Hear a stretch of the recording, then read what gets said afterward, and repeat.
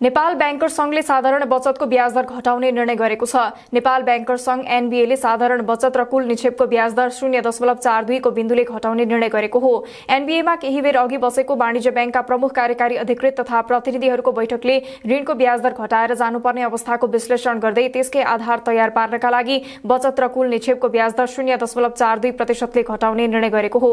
एनबिएका अध्यक्ष तथा एनएमबी ब्याङ्कका प्रमुख कार्यकारी अधिकृत सुनिल केसीका अनुसार मुद्दती निक्षेपको ब्याज दर भने यथावत राखिएको छ। उनका अनुसार चैत एक गतेदेखि लागू हुने गरी बचतको ब्याज दर छदेखि आठ प्रतिशत कायम गरिएको छ। हाल छ दशमलव चार दुईदेखि आठ दशमलव चार दुई प्रतिशतसम्म रहेको थियो। हाल कुल निक्षेपमा बचत र कुल निक्षेपको हिस्सा छत्तीस प्रतिशत छ।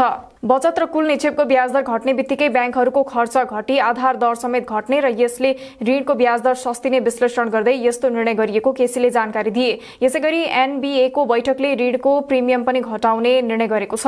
अब वाणिज्य ब्याङ्कहरूले आधार आधार दरमा अधिकतम पाँच प्रतिशत मात्र प्रिमियम लिन पाउनेछन्। हाल आधार दरमा छ प्रतिशतसम्म प्रिमियम लिन पाइने व्यवस्था कार्यान्वयनमा थियो।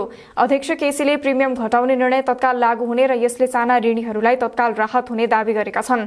एनबिएले यसअघि गत माघमा मुद्दती निक्षेपको ब्याज दर घटाउने निर्णय गरेको थियो। पछिल्लो महिना निक्षेपको ब्याज दर घटिरहेको भए पनि कर्जाको ब्याज दरमा भने त्यसको प्रभाव देखिएको छैन।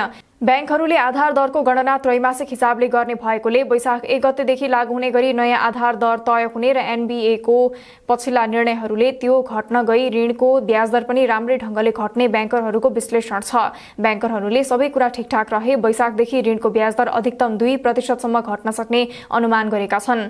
यसअघि सिटिजन्स ब्याङ्क एभरेस्ट ब्याङ्क र सानिमा ब्याङ्कले दुई प्रतिशतसम्म प्रिमियम घटाएका थिए। उनीहरूले अधिकतम चार प्रतिशतभन्दा बढी लिन नपाउने व्यवस्था गरिसकेका छन्।